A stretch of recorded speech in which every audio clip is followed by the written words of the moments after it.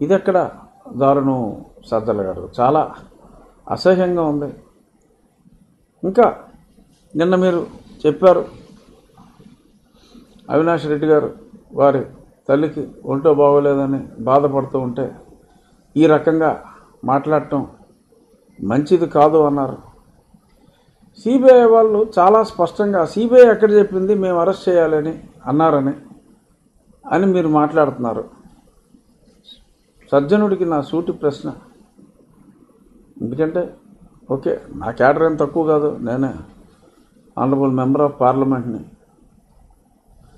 మీరు ఎవరికో జ్ఞానం లేక సలహాలు ఇవ్వడానికి మిమ్మల్ని పెట్టుకున్నాడు అని అనుకోవాలి.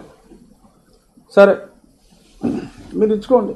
జ్ఞానం లేని వాళ్ళకి సలహాలు ఇచ్చుకోండి తప్పులేదు దానికి మీకు జీతం ఇస్తున్నారు అన్నీ ఇస్తున్నారు. కానీ ఈ రకంగా మభ్యపెట్టడం మాటలతో మభ్యపెట్టడం సమంజసం కాదు. సజ్జల రామకృష్ణారెడ్డి గారు నిన్న మీరు ఏమన్నారు? సిబిఐ అనలేదన్నారు. ఒకసారి కోర్టు అఫిడవిట్లు చూసుకోండి. Is not cooperating we want to arrest him అని చెప్పి చెప్పారు. కర్నూలు సిబిఐ వాళ్ళు వచ్చింది నిజం కదా? కర్నూలులో గోలికేలు ఆడుకుంటానికి వచ్చారా?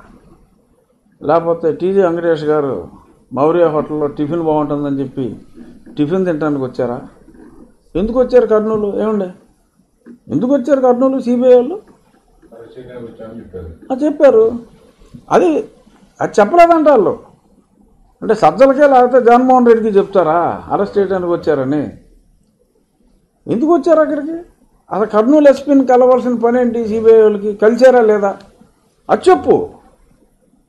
నువ్వు చెప్పాల్సింది కర్నూలు ఎస్పీని కలిసారా లేదా చెప్పు. ఎస్పీ ఇంట్లో పని మనిషి కాఫీ బాగా పెడద్దే ఆ కాఫీ తాగడానికి పని కట్టుకుని వికాస్ కుమార్ అని మిగిలిన గ్యాంగ్ అందరూ ఎస్పీ ఇంట్లో కాఫీ తాగడానికి వచ్చారా?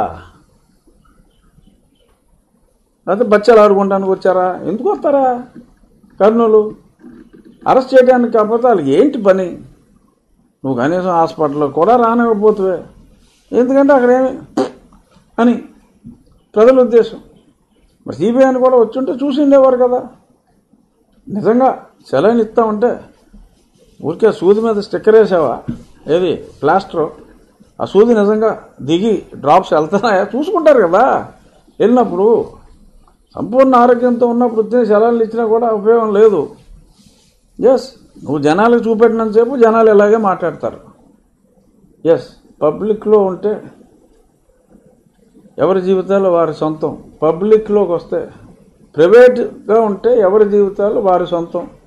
పబ్లిక్లోకి వస్తే ఏమైనా అంటాం అన్నాడు శ్రీశ్రీ. అలాగా?